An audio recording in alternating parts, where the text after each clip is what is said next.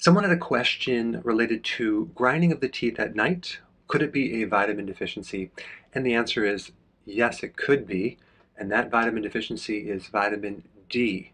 Now, what is the association between grinding of the teeth, bruxism, and vitamin D?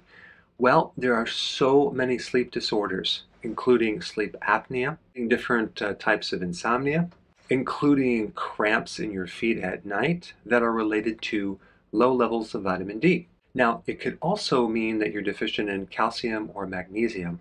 Now, if you're going to take calcium, make sure you don't take too much. If you take too much, it can actually create the same symptoms as a calcium deficiency, which I will do a video on that. So it might be a good idea to take a small amount of calcium or just get your calcium from food. Now also, vitamin D deficiency is also associated with anxiety. So if you're trying to sleep at night uh, with a vitamin D deficiency, the anxiety alone can cause you to grind your teeth. So a simple solution to find out if this is the cause of your problem is just take about 10,000 IUs of vitamin D3 uh, at dinner time and just make sure that that dinner also includes a little cheese so you get your calcium and then see if you observe any improvements with grinding the teeth. Now the difficult thing about this is to know if you are grinding your teeth less because you're usually sleeping and you don't even know you're grinding your teeth. So you're going to have to figure that one out. There is some good data to show that vitamin D deficiency is associated with bruxism. Let's talk about vitamin D in skin type. And when I'm talking about type, I'm talking about the pigment in your skin. That pigment is generated by melanin. And melanin, the pigment, has an interesting function of acting as a filter for UV light.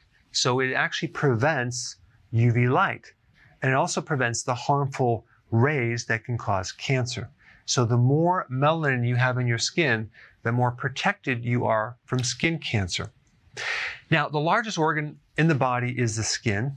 It has about 22 square feet, okay? It's about eight pounds. So it's actually quite large. When we get into the types of skin, you have type 1 and 2, you have type 3, and you have type 4, 5, and 6. So in this type, you have people that have like a fair complexion, uh, people that are redheads, Russians, Scandinavians, and people that live in high latitude, which means further away from the equator. And then type 3, you have the middle latitude, which is slightly lower. We have Americans and Central Europeans, okay? Then you have type 4, 5, and 6, which is the subtropical or the tropical. They're closer to the equator, and so they're going to have more sun exposure. And this group in- includes Asians, Indians, Latino Americans, African Americans, Africans. And so the darker the skin, the more melanin, the more natural sunscreen they have, the less UVs that are going to penetrate the skin. But here's the catch 22 people in this group that have a less risk of getting skin cancer also have a greater risk of being vitamin D deficient. So they would need between three to five times more vitamin D than this group. So even though this group can absorb more vitamin D, they have a higher risk of getting skin cancer. And so the darker the skin, the more vitamin D you need to consume or be exposed to from sun. Normally the sun gives you UV radiation, which hits the skin and depending on how much pigment you have, will determine how much pre vitamin D you're going to get, which is made from cholesterol. This inactive pre vitamin D needs to be activated through the kidneys or the liver. But also realize that if there is damage to your liver, whether you have a fatty liver, it's inflamed, or you have cirrhosis, or you have kidney damage because you're diabetic, it never gets converted. So when you get tested and it shows normal, that doesn't actually tell you the active form because most tests check the inactive vitamin D, not the active version. Because if you have a fatty liver or you have some type of a problem with your kidney and you keep checking your vitamin D and it's normal, chances are you it might not be normal. So there's a big association between liver damage or kidney damage and low vitamin D levels. Now, there's a really cool test that I recommend. It's a home kit that you can get to measure your vitamin D levels. It's not that expensive. I recently called a company and I asked them if they would give my followers a discount. And I don't get any kickbacks. I get no percentage of this. So what they agreed to do is to give all my followers 20% off this test if you're interested. So you would just type in this coupon code Dr. Berg 20, and I put the link down below. They'll send you a kit. You take a drop of blood, you put it in this little piece of paper, send it in, and they'll give you your results. They also have some other additional testing like omega 3 fatty acid testing. They can check your DHA, and I think just a few more tests. So you'll see it on their website. All right, thanks for watching. So let's talk about the evolution or the origin of vitamin D. It's quite fascinating. Phytoplankton has been on this planet for about, I don't know, 750 million years. It's been unchanged. And um, phytoplankton exposes itself to sunlight and makes vitamin D. Now, there's a compound in the environment called squalene.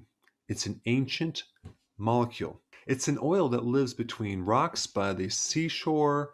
Uh, plants make it, animals make it, but it's a precursor to cholesterol and steroid hormones. Now, I'm not going to get into the complex biochemistry of this, but all you need to know is that that's like the raw material that eventually turns into vitamin D because vitamin D comes from cholesterol. Now, originally, phytoplankton uses certain things from the sun's rays to create different chemicals within the uh, living organism itself. And one of the problems way back on this planet is that we didn't have an ozone layer. So back then, without the protection of the ozone layer, there was quite a bit of damage that was created from this UV radiation. And so organisms experience DNA damage. So somehow vitamin D was created to protect the organisms from developing damage from this UV radiation from the sun.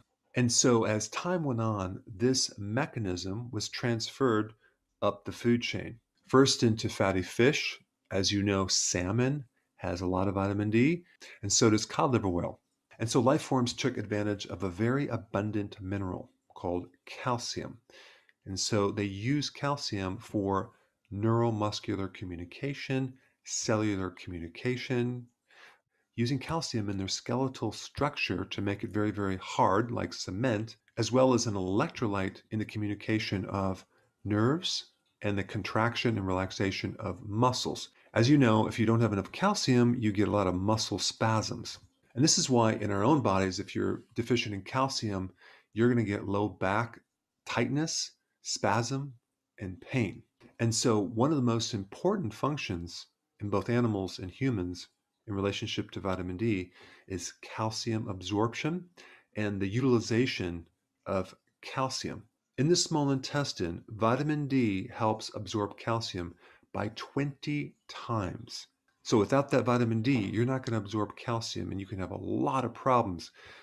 Osteoporosis, osteopenia, osteomalacia, which is your bones become soft. And if a pregnant mother is deficient in vitamin D, that child is going to be deficient in calcium and potentially could have scoliosis, flat feet, hunchback, sway back, and even rickets, in which the legs are kind of bowed. And so I've done a lot of videos on vitamin D in relationship to your immune system, acting as an anti inflammatory, helping prevent autoimmune diseases. But the big function of vitamin D is in what it does to calcium. And so if you're deficient in vitamin D, your bones aren't going to work.